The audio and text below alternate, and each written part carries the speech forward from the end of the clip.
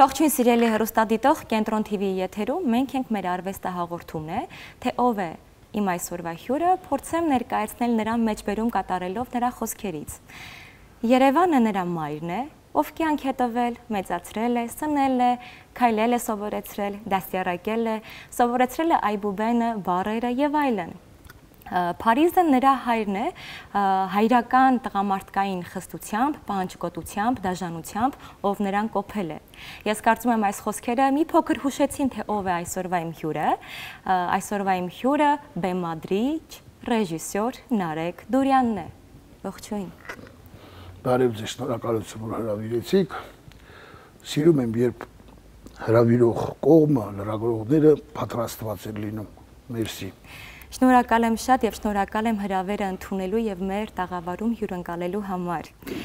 Պարոն Դուրյան, կարծում եմ կունենանք հետաքրքիր բովանդակալից եւ բացահայտող զրույց այսօր եւ սկսեմ իմ հարցերը։ Ինչպիսին է Երևանի տեսանելի եւ շոշափելի մշակույթը ձեզ համար։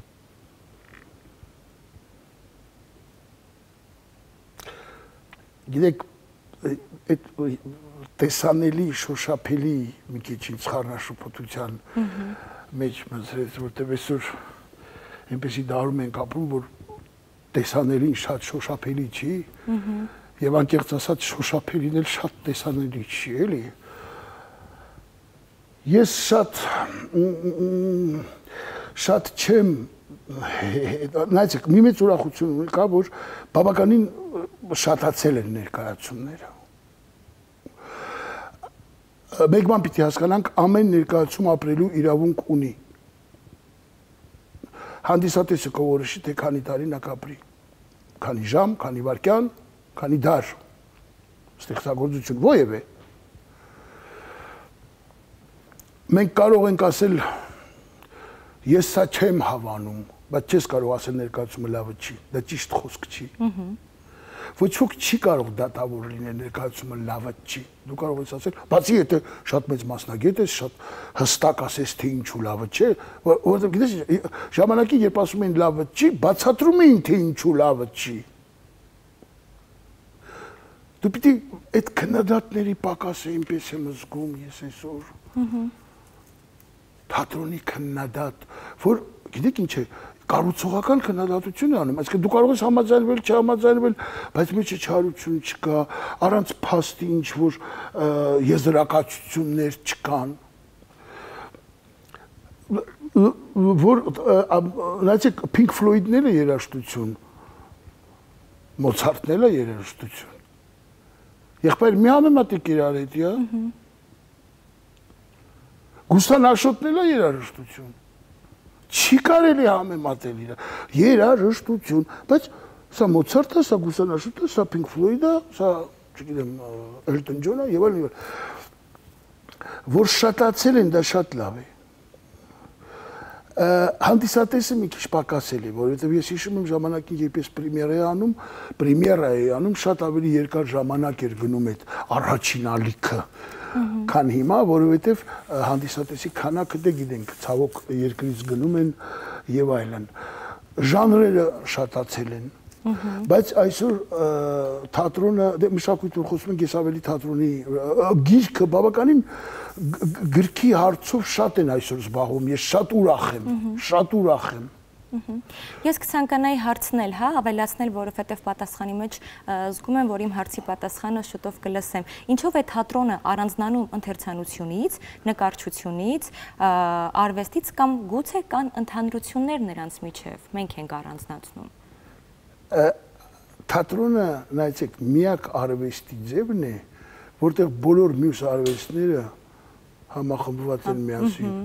Դա միակ տեղն է, որտեղ դու տեսնում ես, լսում ես, մտածում ես։ Չէ՞։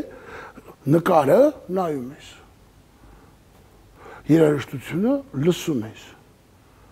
Գիրքը կարդում ես, տեքստը մտածում ես։ Ահա։ Այստեղ դու այս ամեն ինչը միաժամանակ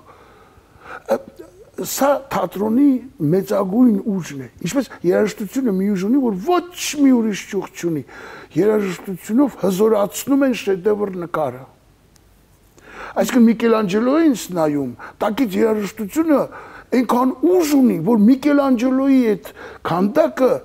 ավելի է հզարոցնում, եթե տակը դնես։ Կենթանություն է Հա, տալիս։ այսինքն դա երաժշտության յուրահատուկ մի բանն է։ Թատրոնը ամեն ինչ մի տեղ է, ամեն ինչ միաժամանակ է։ Պարզապես թատրոնում մեկ բան կա, որ իմ սկզբունքն է եւ ես խորհուրդ կտամ երիտասարդներին։ Երբեք պետք չի սովորեցնել։ Պետք չի։ Թատրոնը ուսման տեղ չի։ Թատրոնը պետք է ճիշտ ցույց տալ իրավիճակները, թողնել թող մարդիկ մտածեն։ Դու կարող ես իրավիճակը ցույց տալու ժամանակ քո մոտեցումը այդ իրավիճակին ցույց տաս։ Այդ ուրիշ հարց։ Բայց երբեք պետք չի ասել, որ սա է ճիշտ, եթե համաձայն չեք ձեր մակարդակը ցածր է հանդիսատես։ Հա դուք ով եք որ դուք մարդկանց մակարդակն եք որոշում, ընդ որում մի հոգու չէ, 500 հոգի նստած է, իրանք ընդհանուր դրանից մի հոգի են սարքում, ասում են ցածր մակարդակ ունի, ով։ Դու ով ես։ Բայց գնում է, այս մեծամոտ ես ես շատ ուրախությամբ նայում եմ որ մի ցավ կա, որ դերասանները այսօր չեն գալիս թատրոնում աշխատելու։ Չեն գալիս, որովհետև սերիալները ավաղ Զբաղեցնում են դերասաններին, թատերականիստու հույսով որ կգնան սերիալ մեղք իմ գլխին։ Ահա։ Այդ թյուրին է։ Տեքստ չունես սովորելու։ Մի նախադասություն ամբողջ օրվա ընթացքում ասում ես, որը լավ լինեն էլ կկպցնեն։ Մեր մոտ սխալվել չկա։ Մեր մոտ վարագույրը բացվեց, դու ես եւ իրանք։ Բայց իրականում այդպես էլ պետք է լիներ նաև հերոստանգերություններում, որովհետև օրինակ կինոյի եւ թատրոնի միջև մի ընդհանուր բան կա, դա տեքստն է։ Իհարկե, այո, այո։ Այո, մի տարբերությամբ, որ այնտեղ պիտի սկզբից մինչև վերջ ասես։ Եվ ուրեմն ուղղակի շատ ավելի ուժեղ պիտի պատտվի, քան այստեղ, որտեղ կարող ես նույն բարև ձեզը 100 անգամ կրկնել տարբեր դուբլաժներով եւ որը դուբլներով եւ որը ավելի լավ լինի նայել անցկացնել։ Պարոն Դորյան, թատրոնի դերը մարդկանց վրա, մարդկանց հոգեբանության, մտածելակերպի, մարդկանց բնավորության վրա ինչպես է ազդում։ Գիտեք, թատրոնը մի զարմանալի բան է։ Մռայլ տարիներին ինկվիզիցիայի ժամանակ ինքը ուրիշ դեր է խաղում։ Պատերազմի ժամանակ ուրիշ դեր է խաղում։ Ինքը այնուամենայնիվ բուժիչ դեր պիտի խաղա դրական թե թե հիվանդություն բուժել, թե ցաներ հիվանդություն բուժել, թե պարզապես ինքը նայած նայած ինչ վիճակի մեջ է երկրում մարդկային ընդհանուր այսպես ասած հոգեկան եւ հոգեվոր վիճակը այսօր ես գտնում եմ որ մենք պիտի բեմից սուսիկ փուսիկ այդ երկու ժամը չխորանանք ինչու այդ հարցերի վրա մարդկանց այո զբաղեցնենք հանգստացնենք դա մեր միսիան է մեր մարդիկ գալիս են բժիշկի մոտ Այո, կարելի է համեմատել թատրոնը բժշկության որ հետ։ պարկում է խոսում է մյուսը հարցեր է տալիս Այո։ դա մեր գործն է մենք իրավունք չունենք սովորեցնենք ինչ որ բան մենք պարզապես պիտի այնպես անենք որպեսզի ինքը այդ երկու ժամը իրան լավ զգա եւ Այո։ գրա դա մեր գործն է Դուք մի անգամ ասել եք, որ պատերազմի տարիներին, ցուրտ ու մութ, մութ տարիներին ամենակարևոր անելիքը այն էր, երբ ամեն մարդ զբաղվում էր իր գործով եւ դրա համար դուք շարունակում այո։ մեմադրություններ իրականացնել եւ մարդկանց բուժել, ինչպես դուք նշեցիք, որպես ասեմ, ես բժիշկ։ մեկ-մեկ ուզում եմ, այնպես եմ ուզում, ճիշտ հասկացեք, բազապես չի կարելի, չի լինի ամենավատ են օրերին դուրս գամ ներկայացում, բազապես չեն հասկանա կասեն այս օրերին, որտեղ նույնիսկ եթե դրամ չուզեմ ասեմ, առանց դրամի ենք անում ժողովուրդ, այ ես ինչ բան է եղավ, եկեք նայեք գոնե մի քիչ չեն հասկանա, բայց ճիշտ է, հենց այդ օրերին է, որ մենք պետք է գործենք։ Ես գտնում եմ, որ հենց այդ օրերին է, որ երկի չպիտի երկի։ Ախր հենց այդ օրին է, որ եթե նույնիսկ դարիճում 3 հոգի լինի, Այո։ այդ 3-ին դու ինչ որ 2 ժամ տանում ես։ Էլ չասած որ դու ես բուժվում։ Չէ որ մենք հո բան չենք, մենակ մենք ենք, աշխարհում միակողմանի ոչինչ չկա, ամեն ինչ երկկողմանի է։ Ամուսնությունն էլ է երկկողմանի շահ։ Երեխանի դաստիարակներն էլ երկու դաստիարակելները երկկողմանի շահ, որտեղ վաղը դու պահանջելու ես։ Հենց այդ օրերին է որ պետք է մենք ինչ որ մի բան անենք, բայց իհարկե ես միշտ ասում եմ եկեք անենք, հետո վախենում եմ չհասկանան, կարծեն որ համար մեկում թատրոնը շատ մեծ միսիա ունի։ Մանավանդ ես շատ երջանիկ եմ, որ հիմա իմ թատրոն ունեմ։ Գիտեք, մասնավոր թատրոն շատ կարևոր բան է։ Ֆրանսիայում այսպեսի խոսք կա։ Ասում են պետական թատրոնը դա ծառի էս էս էս ինչա սրա անունը ստվող ռուսները ասում են, հա, այս այա եւ ճյուղերը։ Իսկ մասնավոր թատրոնները այդ ճյուղերի վրա տերևներն ու ծաղիկները։ Այո, դուք միշտ եք եղել պետական թատրոնում աշխատել եւ 2016 թվականին վերջապես բացվեց Բոհեմ թատրոնը։ Պարոն Դորյան, ինչու Բոհեմ։ Դե ես սիրում եմ այդ խոսքը, այդ վիճակները, այդ ճիշտ է իմ այն տարիքը չի որ շատ տարի է տարի այդ այդ վիճակը, բայց ինքը Բոհեմ խոսքը ինձ համար ամեն ինչ կա մեջը, թե արվեստ կա, թե անկարգություն կա, բայց միաժամանակ մեջը հավաքվածություն կա։ Ես շատ ուրախ եմ ենք եւս 10 տարով ստորագրեցինք մենք փաստորեն առաջին եւ միակ մասնավոր թատրոնն ենք, ես այդպես եմ հասկանում, թատրոն, այսինքն շենքով, բանով, ոչ թե ընկերություններ շատ կան մասնավոր թատերական, որ սրահներ են վարձում, խաղում են եւ այլն, բայց որպես շենք, որպես թատրոն մենք ենք Փարք Աստծո տակից դուրս են գալիս, դժվար է մի քիչ, որովհետեւ ամեն ինչ բացարձակապես մեր վրա է, օրինակ հիմա ուզում ենք գիտեք շատ թատրոններ չեն, մարդիկ չեն հասկանում ինչ է նշանակում մասնավոր թատրոն։ Մասնավոր թատրոն դա նույնիսկ եթե լամպան էսպես կոտրվում է կամ ինչ որ մի բան չի աշխատում, դա տերը, տնորենը իր գրպանից է տալիս, իսկ դա բիզնեսի նման հիմա մենք մոտ 300 աթոռ ունենք այնտեղ, որոնք շատ վատ վիճակի մեջ են, հիմա պիտի փոխենք մենք ոչ մի պետական աջակցություն չունենք։ Պետությունը տալիս է թույլտվություն, իսկ հնարավորությունը եւ իրականացումը պետությունը ջանիկս կապ չունի։ Թույլտվություն տվել է գրողների միությունը։ Շենքը գրողների միությունն է, միությունն է։ Մենք գրողների հետ միության կոնտրակտ ենք արել իրենց ամսական դրամ ո՞նց է մեկի օբյեկտը վարձում հա, հա, ու քյուֆտա ծախում մենք էլ այդ այդ օբյեկտը կոպիտ ասած վարձել ենք հա 10 տարով հիմա նորից կոնտրա արեցինք բայց այդտեղից սկսել ամեն ինչ մեր մեր հիմա մենք ուզում ենք ընկած փնտրում ենք թե ոնց ենք կարողանալու այդ 300 աթոռը որոնք Մովսես Խորենացիից մնացած աթոռներ են ոնց ենք կարողանալու փոխել, որովհետև ոչ եւ դա շատ սխալ է։ Ես իմ ասեմ պետությունը, այո, մասնավոր թատրոնը պետք է հենց ինքը եւ ես ասեմ, հիմա ես ինչքան որ հասկանում եմ, նպատակը էս հենց նա է, որ փորձեն այնպես անեն, որ թատրոնները կարողանան մի քիչ ինքնա օթո վճարման կամ օթո իրենց կարողանան պահել, ես հասկանում եմ բայց լրիվ անկախ թատրոնը շատ դժվար է թատրոն պահել այսինքն ֆրանսիայում մասնավոր թատրոնները ինչ որ օգնություններ ունեն պետության կողմից որտեղ զուտ այսպես առանց օգնության մնա անում ենք բարկաս օելի կանենք բայց դժվար է օրինակ եթե ես պիտի 300 աթոռ փոխեմ, եթե կարողանար ինձ պետություն ինչ-որ մի բանով օգնել, ես այդ 300 աթոռի դրամը կդնեի 5 դերասան կաշխատացնեի, չէ՞։ Մարդ կաշխատեր։ Հասկանում եք, իսկ մայ դերասանները պիտի սպասեն, որ ես աթոռ փոխեմ։ Այսինքն պետությունը պետք է մասնավոր բիզնեսին ինչ որ բանով օգնի։ Բզդիկ բանով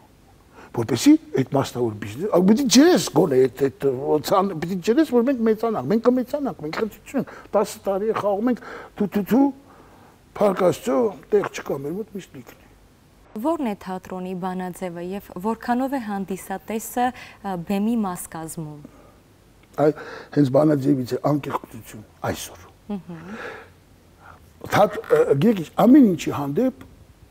մոտեցումները փոխվում են մենք չենք կարող պահել մոտեցումներ, այդ լավ խոսքի, որ ունեցել ենք 25 տարի առաջ տեխնիկայի թեկուս հանդեպ։ Իհբայր կնոջ հանդեպ չես կարող դին մոտեցումը պահել ինչ ունեցել ես 25 տարի առաջ։ Ուրեմն թատրոնում մոտեցումներն էլ են փոխվում։ Այսօր 4-րդ պատ հասկացությունը գնալով վերանում է։ Նայեք, ես միշտ ասել եմ, կան թատրոններ, որոնք պարտավոր են ստիպված են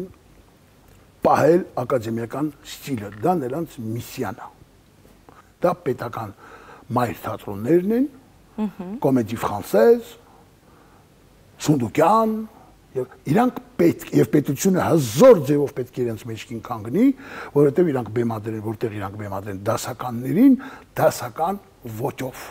Դա պետք է, դա սրբություն է։ Դա այդ ծառի, ոնց որ ասեցի, էս հիմա այն ճյուղերը մենք ստիպված ենք դարաշրջանով քայլելու։ Այսօր մարդիկ չեն գնում նայեն Ժերար Դեպարդյոին օրինակ Սիրանո դե Բերժակի կերպարի մեջ գնում են նայեն Ժիրար Դեպարդյոյին Սիրանո դե Բերժակի վիճակների մեջ իրանք Ժերարին են ուզում տեսնեն ոչ թե փոխված Ժերարին Սիրանո դե Բերժակ դարձած մոտեցումները փոխ իրանք ուզում են գիտեք ինչ արդեն այնքան ռեալիստ աշխարհում են ապրում որ բեմի վրա ինչքան ուզում ես անձրև վերևից թողա ես տեսել եմ այդպեսի ներկայացում քենթացա Փարիզում կայծա կանձրև բեմի վրա եկավ այդ ջուրը շփվեց գնաց չգիտեմ ուր կորավ բան բայց մեկը չեմ հավատում ես գիտեմ որ այսօր երեխեքը հերախոսի մեջ չգիտեմ ինչեր անում այդպես բաներով էլ չես խափի այո ուրեմն ինձ համար այսօր թատրոնը գիտեք ինչա որ մեկը կանգնի աթուրի վրա այսպես մի կաթիլ ջուր վրա ցնցի, ասի վայ, սից անձրևա գալի, դուք հավատաք։ Այո, մենք հավատանք։ Ամենամեծ դերասանը երեխան է։ Ոչ մի դերասանու չի կարող տիկնիկը գրկել ու այդպես մայր խաղալ ու սիրել այդ տիկնիկին, ոնց որ այդ լակոտ։ Բայց դու չկա ոնց անա կամ են փեդը վերցնում, ոնց հավատում որ ատրճանակա։ Հետո մի րոպեից այդ փեդը շուրա տալիս այսպես, ուրիշ բան է դարձել։ Էսա թատրոնը այսպես սա ջուրա, շուրջ տամ սա միկրոֆոնը, այստեղ դնեմ անիվա։ Ու եկանք ձեր հանդիսատեսին։ Ու իրանք շատ են հավանում, որ դու իրանց չես խափում, որ այ անձրևա գալիս։ Իրանց ասում ես, երեխեք, եկեք միասին պատկերացնենք, որ անձրևա գալիս։ Եվ մասնակից են դառնում ներկայացման ընթացքին։ Այսօր դարը փոխվել է այդ նստել, նայել, Գիտեք, այսօր մեծություններ, ոնց որ Փափաս կամ չգիտեմ, մեծ անուններ, ասենք Ֆրանսիայից Ժան Գաբեն, եւ ես վստահ չեմ, որ իրանք կանցնեին։ Ահա։ Ես վստահ չեմ, որ իրանք խաղը կանցներ բացարձակ այսօր ֆիլմեր կա նայում ես շեդևրներ հայկական կամ ֆրանսիական ասում ես այս ինչ հինա այդ ինչ խոսք է ինչ ես ասում ինչ հինա ըհը ինչ բանկա որ պիտի քայլես դարաշրջանով։ Անհնարին է, այլապես դառնում ես արխիվ։ Այո, կան շատ արտի թեմաներ, մարդկային, ընտանեկան թեմաներ, որոնք չեք խուսափում բեմ բարձրացնել եւ կարողանում եք ճիշտ մատուցել։ Ինչպես եք կարողանում թեմաների ընտրությունը իրականացնել եւ համարձակորեն դա բարձրացնել բեմ։ չգիտեմ, եթե կարողանում եմ ճիշտ ներկայացնել, եթե ասում եք ուրախ եմ, գիտեք ինչ է, այսօր ոնց որ նոր ասեցի, որ մոտեցումները փոխվում են, այսօր թատրոնը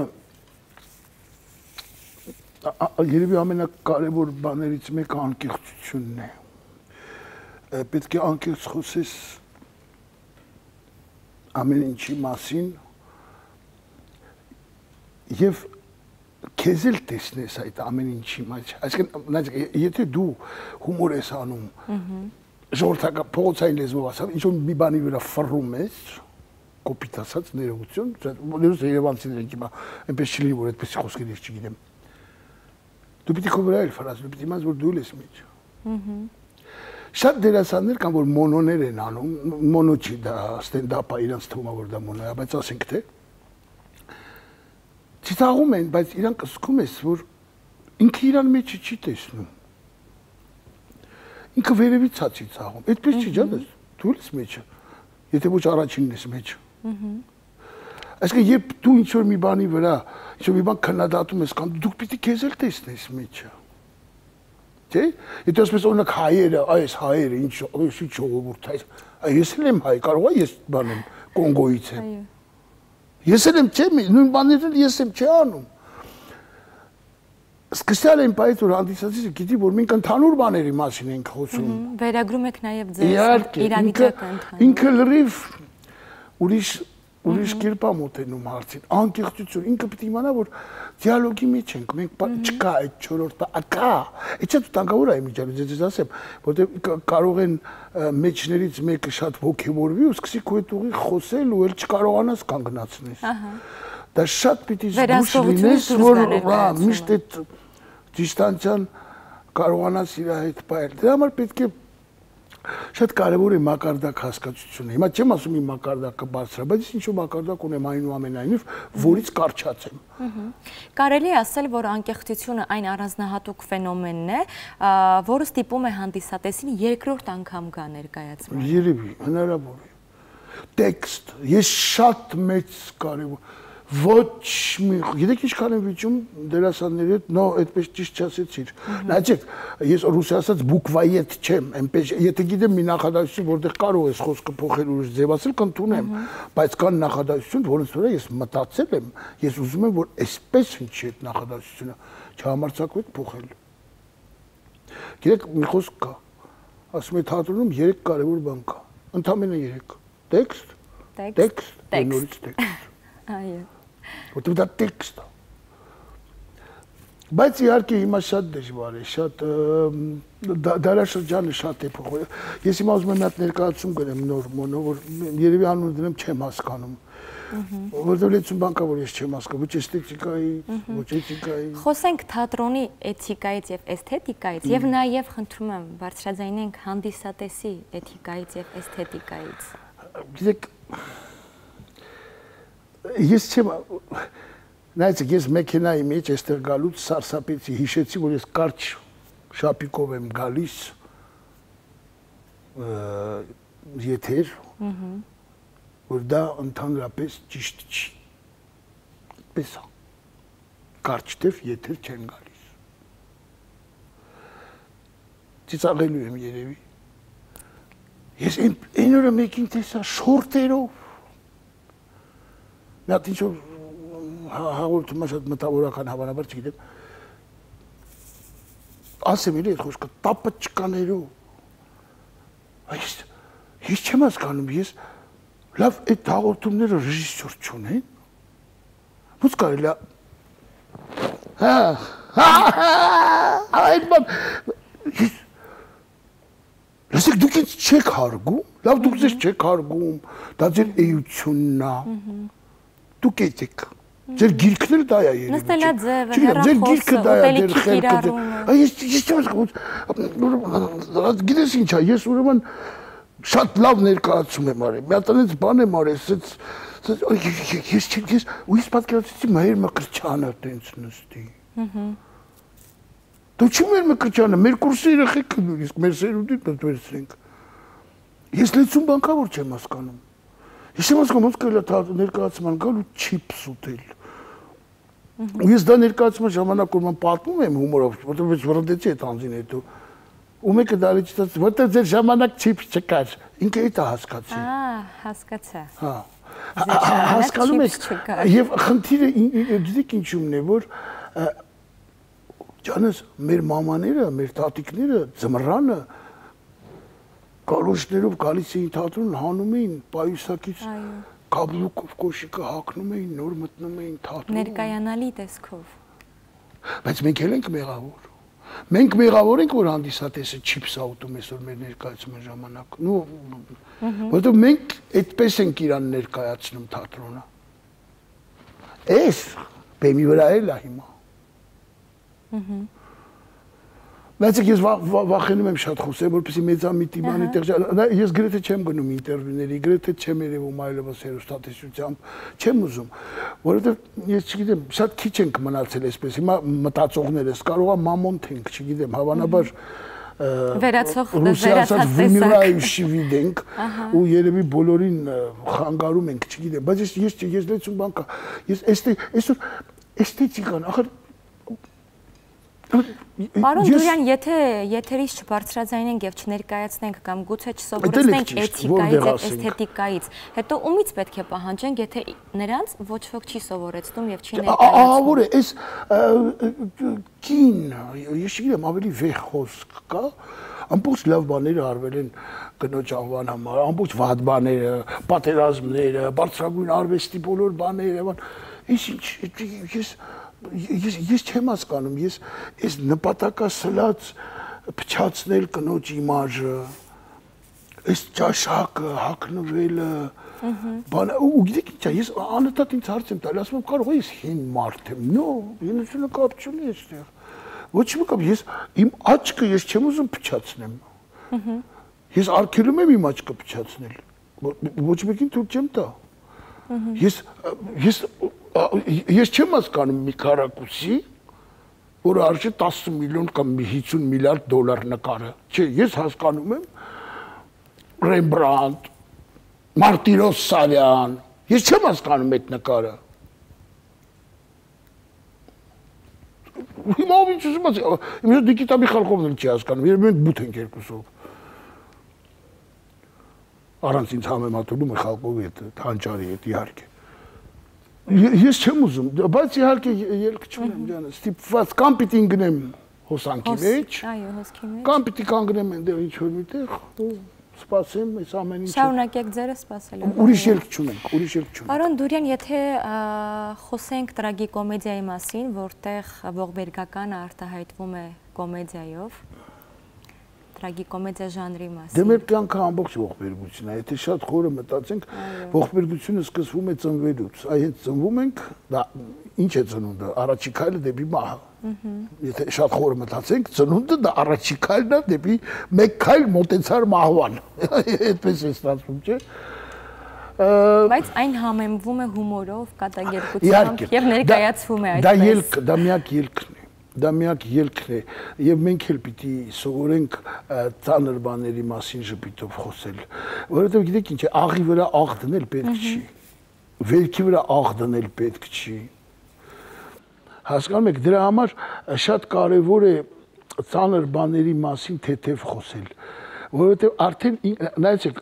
օրինակ մեր հայկական շկոլան ֆրանսիացին ասում է ժտեմ ես քեզ սիրում եմ հա Դե դարու ես քեզ սիրում, մենք ասում ենք ես քեզ սիրում եմ։ Դու ինձ ատում ես։ Ատում եմ։ Ինչպես դու ինձ ատում ես, ատում եմ։ Դու դու ինձ ատում։ Տրագեդիայի մի հա վերածիր էմոցիոնալ դաշտը։ Այնքան հզոր է, ատում եմ շեշտադրությունը, ինտոնացիա։ Արդեն այնքան հզորա որ ինչի ես մի հատ լսեց, բան։ Ասում ես ու հանդիսատեսի ականջին դա չի նստում։ Որտե եթե թատրոնը դա տեքստ է իհարկե, բայց համել բնական խոսելն է, չէ՞ կարևոր։ Ինչու հումոր չեն կարող անել բոլորը եւ ցանկալի էլ չէ, որ շատերը զբաղվեն հումորով։ Ինչ ինչ ինչքանով է դժվար հումորը ներկայացնել։ Դովլատովը, հանճարեղ Դովլատովը մի խոսք ունի։ Ռուսերեն ասեմ, это հայերեն կտանք մանենք юмор это зеркало интеллекта։ Ահա։ Հումորը դա ինտելեկտի հայելին է։ Ինտելեկտի հայելին է։ Դե Հումոր լավ հումոր ունենալու համար պիտի ինտելեկտ ունենաս։ Ճկուն միտք ունենաս։ Ճկուն միտք ունենաս։ Ասելիք ունենաս։ Մենք չենք խոսում ժողովրդական հումորի մասին, որը իմաստուն է։ Ժողովրդական հումորները իմաստուն են։ Մենք ավելի ծաղում ենք իմաստուն ու խորության վրա, բայց բեմից, եթե դու տեքստ ես գրում, դու պիտի ինտելեկտ ունենաս հումոր անելու համար։ Եվ երևում է ինչքան բարձր ինտելեկտ է, այնքան հումորը ավելի լավն է, ինչքան ցածր, այնքան վատ։ Հիմա պարոն Դուրյան, դուք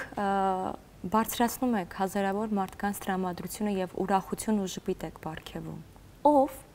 կամ ինչպես է կարողանում ձեզ ուրախացնել, ձեր տրամադրությունը բարձրացնել։ Ինչն է ձեզ ուրախացնում կամ ով է կարողանում դա ապահովել։ Այդ չեմ կարող ասել։ Ես նայեցեք, ես 4 բան ունեմ։ Ես ծննդյանս օրը բեմից ասեցի 4 սրբություն ունեմ, որոնցով ուրախանում եմ։ Իմ հայրենիքը, Իմ թատրոնը, ընտանիքս եւ հանդիսատեսը։ Այս 4-ը կարող են ինձ ուրախացնել։ Ուրիշ, գիտեք, ընդհանրապես դերասանները ծանր մարդիկ են։ Եվ այդպես ես չեմ էլ փնտրում ուրախանալու ինչ որ ինչ որ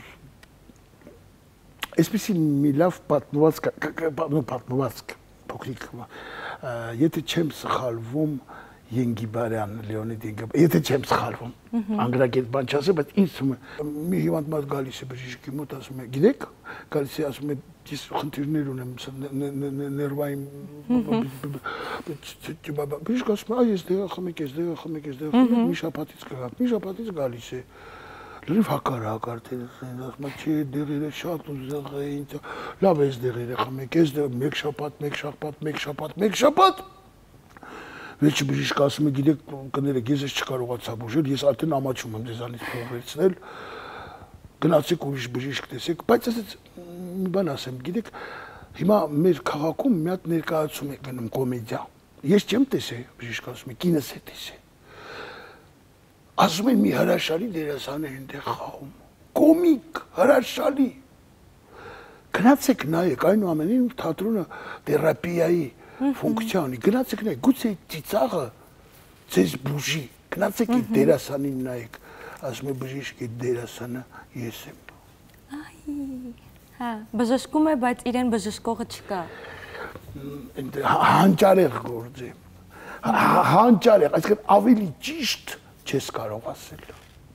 Մեր բոլորի մասին, ամեն մեկի ձևով։ Պարոն Դուրյան, եթե նորից ծնվեիք, կընտրեիք նույն մասնագիտությունը։ Անպայման անպայման առանց մեկ վարքյան մտածելու նույնիսկ նույնիսկ չեմ մտածի մեկ վարքյան կան մասնագիտություններ որոնց համար խենթանում եմ օթաչու խոհարար լավ լավ խոհարար ընտիր մական բայց սա այս աշխարհը սա հրաշալի աշխարհ է սա այս բեմը զարմանալի բան է զարման մեջքը ցավում ավատ է հիվան դուս ես գալիս ես ես բժիշկ չեմ տեսել Ահա։ Ամեն ինչ մոռանում ես։ Ես բժիշկ չեմ տեսել։ Անցնում է։ ես։ Աստված հոգի լուսավորի Զավեն Աբրահամյանը լավ էր ասում։ Ասում է Զավեն, այո, տակությունով դուրս եմ գալիս, բեն տակությունից իսկում է, ասում էր, որովհետև այն մարդը, որին խաղում ես, ինքը հիվանդ չի։ Հիվանդ չի, այո։ Ինչպիսին են պայմանականությունները թատրոնում։ Օրինակ ես գիտեմ, որ դուք չեք սիրում շատ դեկորացիաներ, եւ սիրում եք մեկ իրը տարբեր իմաստներով հա։ եւ նպատակներով օգտագործել։ Արդեն թատրոնը պայմանականություն է։ Գիտեք թատրոնը ո՞րն է։ Թատրոնը ինը որ եկել են ժամանակին արբայով կանգնել են յուղի մեջտեղը, խաղացել են, հավաքել են ու գնացել են։ Պայմանականությունը ինձ համար շատ կարևոր է։ Եթե նույնիսկ ես մեծ դալիճ ունենայի եւ մեծ բեմ ունենայի, ես միևնույն է միշտ կփորձեի պայմանական այդ պայմանականությամբ լուծել դեկորացիաները, կոստյումները։ Ես սիրում եմ, երբ դու, ասենք, ոնց որ սելավիում մի բան հակար, դառնում ես, չգիտեմ, հետո մի բան դրեցի, դառնում ես, չգիտեմ, մի հատ պայուսակ վերցրեցի, որովհետև այդ հանդիսատեսի տանում է քեզ այդ, տանում դա ինքը պիտի պիտի իրան չներկայացնես, պիտի իրան տանես քեզ հետ։ Դա շատ կարևոր է, շատ-շատ կարևոր է։ Եվ ես մի բան էլ ասեմ, ես ժամանակին վախենում եի, որ թատրոնը կվերանա։ Այս հերոստացույց եւ այդպեսի խոսք կա տոների ինձ հերոստացույցը աշխարհի ամենամեծ երկու նվաճումները դա եղել են իհարկե տպարանը մարդկության նվաճումը, որը մեզ գիրք նվիրեց եւ հերոստացույցը, որ այդ գրքերը մեզանից խլեց։ Բայց հիմա տեսնում եմ, որ չէ, իրար ուտելու են հերոստացույց, ինտերնետ, այս բաները այս նայեք ինչ սինթեզատոր ուզում ես հանիր 100 հոգու տեղ թող նվագի գիտարի ակուստիկ լարերը դաշնամուրի հետ ոչ ոք չի կարողանա ուտել ինչ ուզում ես հանի մի հատ կոճակ են սխմում գործիքի վրա օրկեստրի ձայներ ինչեր ասես հանում բայց Մայլս Դեվիսի տրուբային ինչ կարող է հնչի Իսկ թատրոնը դա ակուստիկա է։ Ահա։ Դա ակուստիկա է։ Ակուստիկան չի վերանա։ Ես հիմա զգացի որ չի, որտեվ դու դու, շնորհակալ եմ ձեզ եւ երախտապար եւ ամեն ինչ անում որ ձեզ չկորցնեմ հանդիսատեսս հանգիստ 100%-ով գալիս է Ես էլ ամեն ինչ անում եմ, որ պարտաճանաչին եմ իրանց հանդեպ եւ սիրում եմ նրանց։ Voilà։ Այո։ 2022 թվականին կանգնեցրին վարպետ երաժիշտ Օհան Դուրյանի հուշարձանը եւ հիշում եմ հարցազրույցներից մեկի մեջ ասել եք թող լինի թեկուս ուշ բայց ես ուզում եմ որ լինի երբ առաջին անգամ տեսակ հուշարձանը ինչ զգացողություններ ունեցաք դե արդյոք այդպեսին եք պատկերացնում գիտեք ինչ է ես ձեզ ասեմ իմ պատկերացումը կապ չունի, որովհետև եթե այդպես է կտային, որ ես քանդակ էի։ Դու արտիստին պիտի փորձես հասկանալ, թե ինքը ոնց էր տեսնում։ Իսկ ես Գեդիկին շատ եմ սիրում, ինքը ինձ համար Բաղդասարյան, ինքը իմ համար շատ հրաշալի արվեստագետ է, ինքը Պանթեոնն էլ է իր գործը, papai հայրիկի։ Ես հավանում եմ Բայց նորից եմ ասում, հարցը իմ մեջ չի, որովհետև ինչ քանդակագործ պիտի բերեիք, որպեսզի ես պատկերացրածս քանդակեր։ Ես չեմ կարող քանդակեմ այդ այդ գիգանտի անհնար է։ Օ ինչ էլ քանդակեին, եթե ես մի քիչ սուբյեկտիվ մոտենայի հարցին, ես ասել եմ, քարիշ, այս պապան չի։ Ահա։ Կարևոր է որ հուշարձանը կա, այդ շատ կարևոր է, որովհետև շատ այդ մարդու անվան շուրջը ես չեմ ուզում շատ խորանալ ոչ թե ինչ-որ մի բանից վախենում եմ կամ խուսափում եմ, զզվում եմ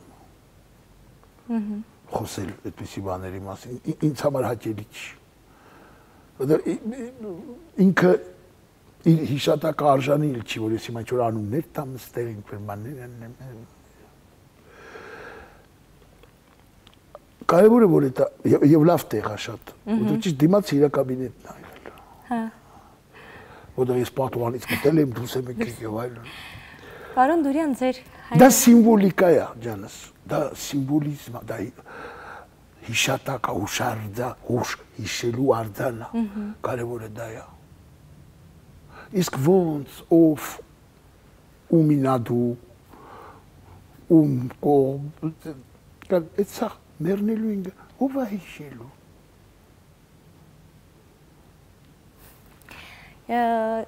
ձեր հայրը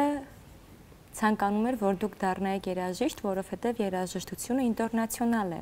Ձեր մայրը իր մասնագիտությունից ելնելով ցանկանում էր, որ դուք դեպի թատրոնը գնայիք։ Ի վերջո ուզում եմ հասկանալ վերջնական ընտրությունը, որ կատարեցիք, դա ձերն էր, թե այն փաստը, որ շփվում էի Կարորիայում վարպետների հետ, վերջի վերջո ձեզ ուղղորդեց դեպի թատրոն, դեպի դերասանական արվեստ։ Իմն էր, չէ, իմն էր։ Իմն էր։ Ես շատ էի սիրում երաժշտությունը շատ, բայց այդ գամա անելը իմը չէր էլի ես այդ այդ եթե մի քիչ ավելի թատերական ձևով կարողանային երաժիշտ դառնայինք այսպես ես երևի երաժիշտ կդառնայի բայց այդ աշխատանքը դարալիրալիրալիրալ հայրս 100 հատ լուցկի դնում էր այս կոմը դաշնամուրի 100 հատ լուցկի հատիկ ասում էր մի հատ գամակը նվագես մի հատը կդնես այս կոմ մինչև գնամ գամ այս 100 հատը ստեղ լինեն ըհը Նվագել եք, չէ՞, ձեր հայրիկի։ Ես ուզում եմ երաժշտանալ այդ պայմաններում։ Ձեր հայրիկի հետ նվագել եք, չէ՞։ Ձեր ցանկությամբ իսկ։ Հա, այդպես։ Նվագել եմ, իմ երազանքն էր իմ երես papan ես երևի մի քիչ իրանից դա վերցրել եմ երիտասարդներին ճանապարհ տալ, երիտասարդներին քաչ։ Ինքը երբեք ինքը չէր բախում, ինքը կար, ինքը գիտեք իջնում էր բակ երեխեքի հետ ֆուտբոլ էր խաղում։ Ինքը չուներ այդ, ինքը շատ երիտասարդ էր այդ առումով հակրվում էր բան սիրում որ գնալ փորձի, իջնում էր երեխաները Բաքու ֆուտբոլ էին խաղում, սկսում էր իրանց հետ կեղտոտ ցեղոտ գնդակից խաղալ։ Իմ երազանքն էր իր հետ Ռախմանինովի ռապսոդիա կա Պագանինի թեմաների վրա, երբ լսեցի ուզում էի դա նվագի, ասեց, օքեյ, ասեց այն անոտաները, նստի, սովորի, ու միշտ նվագում էի, բայց իհարկե ինքը բազապես ինչ չկոտրելու համար հնար միջև բաներ կա որ նույնա մեծ Իսկ ինչու ձեզ մի համերգի ժամանակ ասեց իջիր բեմից Համերգ չէ քնություն քնություն ժամանակ ասել էր իջիր բեմից Հա, ասեցի, բարի ջիր, բարի ջիր։ Շատ անկեղծ է։ Դե ոտը լավ չէ, լավ չէ, դու դիք ինչ էր, ինքը այդպեսի մարդիկ ընկեր չեն կարող ունենալ։ Ինչու՞։ Որովհետև կամ եթե ունեն, իրենց մասնագիտությունից չի։ Ասենք ինքը շատ լավ հարաբերություն ունեցել ֆիզիկոսի հետ, կոմպոզիտորի հետ, դերասանի հետ, բայց կոնկրետ երկիչ, չգիտեմ ինչ, որովհետև ասեք մենք ընկերներ ենք մտերիմ, հիմա դուք երգում եք, ես ասում եմ լավ չի, չես երգելու։ Ահա։ Որտե ինքը այդպես է, ասում եմ լավ չի։ Ահա։ Անկեղծ քննադատ էր։ Երեկոյան զանգում եմ, ձեզ ասում եմ գրանք մի բան ուտենք միասին, բայց դու կոնենցեք նեղացեք։ Ու ինքը չէր հասկանում, ինչի իրանից նեղանում։ Ախր ինչ կապ ունի մեր ընկերությունը ձեր խաղալու հետ։ Դուք լավ չեք խաղում, բայց դուք լավ մարդ եք, մենք կարող ենք ընկեր մնալ։ Իսկ մերոնք չէին հասկանում, դա ոնց որ ինքը չի չի տալիս։ Օրինակ ես ես ես առանց համեմատվելու այդ մեծության հետ, ես չունեմ այդ բանը։ Ես կարող եմ զոհել ձեր ավելի ասենք շատ ոչ շատ լավ խաղալը բեմի վրա հանուն նրա որ մենք ընկերներ ենք օրինակ ինքը չէր անում դա իր համար զավակ բան այդպես բան այդպես հասկացում ինքը չգիտեր ինքը ինձ կարող էր ասել իջիր բեմից ինձ երկու դնեին ես բան ես գայթուն լացելով ասել գնա պաղպաղակ ուտենք էլ չէր հիշում չէր ցաներացնում Չէ որովհետև իր համար 90% իր կյանքի արվեստն էր մնացածը Այդպիսի մարդիկ ես ներկայացման մեջ ասում են, իրանց ասում եմ, իրանց Աստված երկու բան է տվել միայն՝ բացառիկ էգոիզմ եւ բացառիկ տաղանդ մեջտեղ չկա։ Էգոիզմ եւ տաղանդ, որոնք իրար հետ շահկապված են։ Էգոիզմը ծառայում է տաղանդին, տաղանդը էգոիզմի։ Եթե դու էգոիստ չլինես, դու չես կարող տաղանդավոր լինել որովհետև եթե դու էգոիստ չես, ուրեմն դու ալտրուիստ ես ինչ որ միտեղ, այսինքն դու ուրիշին ինչ որ մի բան զիջում ես, վերջացավ։ Վերջացավ։ Ուրեմն պիտի ինտերես, կամ պիտի մնաս մենակ, էգոիստ եւ տաղանդավոր անճարեղ կամ ախպեր ջան գնանք քեբաբ ուտենք ցավը տան որի մեջ ես եմ մտնում ահա աբախ նու այդտեղ արդեն տարբեր կատեգորիաներ կա բայց ընդհանուրը տաղանդը չի արդեն այդ չի այսինքն ինչ որ միտեղ տանջվելու միսիա է էլի մինչև որ արձանը դնեն պիտի անցնես տեղով Պարոն Դուրյան, քանի որ մենք վերջացրեցինք մեր զրույցը, ես կցանկանամ վերջում ինչ խորհուրդ կտակ այն երիտասարդներին, ովքեր նոր-նոր ուզում են բռնել դերասանական արվեստի ճանապարհը։ Կասեմ, կրկնվելու եմ, բայց ոչինչ, կարդացեք։ Կարդացեք, ցավները տանեմ։ Դա ոչ թե նրա համար որ ասեմ ես, ասես հա կրթացա, ոչ։ Ոնց մեծերը ոնց են նկարագրում եղանակը, դա ամբողջը բեմադրություն է։ Գիշերը, դա ամբողջը լույս է բեմի վրա։ Դիալոգը, մոնոլոգը եւ այդ ամեն ինչը ձեր ինտելեկտի մեջ լցվում է։ Հասկանում եք, այստեղ մի բան կա, որ պիտի լցվի։ Ժողովուրդ պիտի սա լցվի։ Սա չի կարող լցվի, արա հելնեմ, կայնեմ, արա խփեմ, թքեմ, արա այդ բան։ Չի կարող։ Մենք դա չենք։ Եղբայր, եթե ժամանակին 10 պերսոնաժից մեկն էր ժխտական 9, բայց այսօր այդ մեկը ժխտականը կուլտուրական է խոսում։ Այսպես է խոսում։ Ժխտա, որի վրա ծիծաղում ենք, նա խոսում է այսպես։ Իսկ որոնց հարգում ենք եւ աստվածացնում են 9 խոսում են նրա սենց։ Գենետիկան մորթեցիկ է ինտելեկտի, եղբայր։ Մորթեցիկ։ Ձեր սցենարներով կարդացեք ցավները տանեմ։ Մենք հրաշալի հայ գրականություն, հրաշալի բաներ ունենք։ Աքսել Բակունցի նկարագրումները բնության եւ այլն։ Ինքը բեմադրության ժամանակ մի քանի տարի հետո այստեղը ձեր տպ տպ տպ ճիլտի պես կդուրս գա այդ ամեն ինչը։ Տպ տպ տպ։ Հիշեք, հումորը ճիշտ է, Դովլատը Վասիլա հումորը։ Բայց ես մի քիչ, եթե Դովլատը մի շուրտակ ավելացնեմ, ձեր բեմադրությունները ձեր դերակատարումները ձեր ինտելեկտի հայ լինեն։ Շնորհակալություն Շնորհակալ եմ ես։ Շնորհակալ եմ եւս մեկ անգամ մեր հրավերը ընդունելու համար։ Ձեզ քաջ առողջություն եւ նորանոր հաջողություններ եւ շատ կցանկանամ, որ ձեր պատկերացրած դերասաններին հանդիպեք եւ սիրով շարունակեք նրանց հետ նոր բեմադրություններ իրականացնել։ Շնորհակալ եմ։ Մեսսի, հաջողություն մեզ, Աստված մեզ պահապան։ Շնորհակալություն նաև ձեզ սիրելի հերոստադիտող մեզ միանալու համար եւ շնորհակալություն մեր հաղորդման գործընկերոջը Մեգերյան Կարպետին մեզ հետ համագործակցելու համար։ Այսօրվա համար այսքանը հաջողություն։